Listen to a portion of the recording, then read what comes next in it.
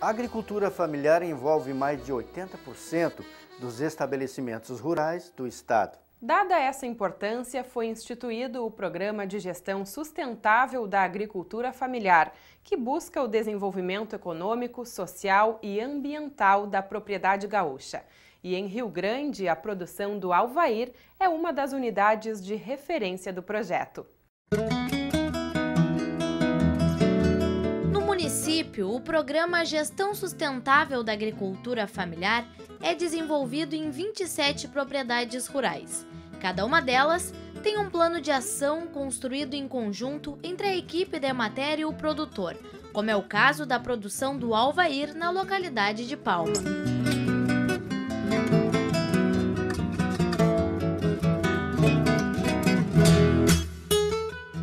Grande e outros municípios do litoral sul, como São José do Norte, são tradicionais produtores de cebola que é plantada aqui na propriedade do Alvair.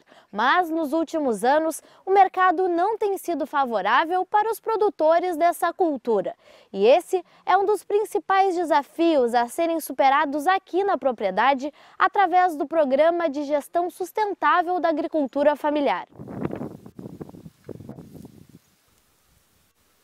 Meu pai já plantava. E eu fiquei trabalhando com ele, peguei pegar gosto pela coisa, né?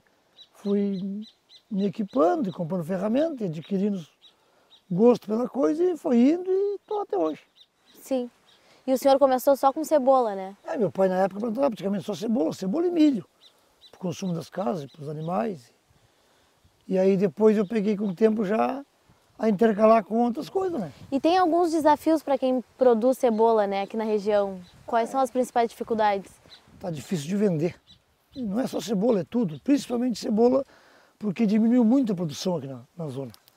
Cara, os mais velhos se aposentaram, pararam de produzir. E os mais novos foram embora trabalhar na cidade. Então ficou muito poucos produtores. O que acontece? Tem pouca mercadoria, tem pouco comprador aí fica difícil. E foi por isso que o senhor buscou é diversificar, isso, plantar? intercalar um pouco outras coisas, para que às vezes um não compra uma coisa, mas compra outra.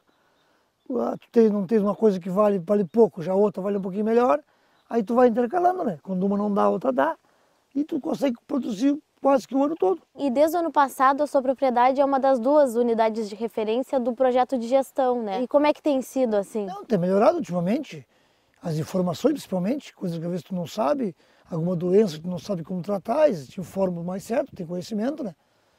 Te indicam o que tem que fazer, isso aí ajuda, controlar as doenças e coisas.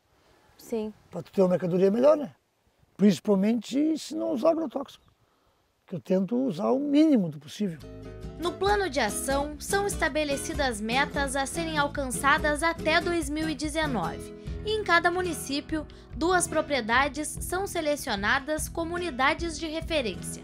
A do Alvair foi escolhida como uma delas por seu tempo de experiência e por seu compromisso com a qualidade da produção. O Alvair já é um produtor que nós trabalhamos há um bom tempo com ele, é um produtor que tem interesse em aprender em trocar experiência, é, é extremamente aberto né, a críticas, a, a, está sempre à disposição também, está completando o primeiro ano de exercício desse plano aqui na, nessa propriedade, nós podemos constatar alguns, algumas situações que antes até nós não, não tínhamos assim bem claro uh, e muito menos ele. Né? Então o objetivo é reduzir, aqui né, especificamente nessa propriedade, é reduzir um pouco a dependência econômica dessa cultura e aumentando a diversificação da, de outras culturas para que ele tenha, no mínimo, a mesma renda ou de preferência uma rentabilidade maior através da implantação e desenvolvimento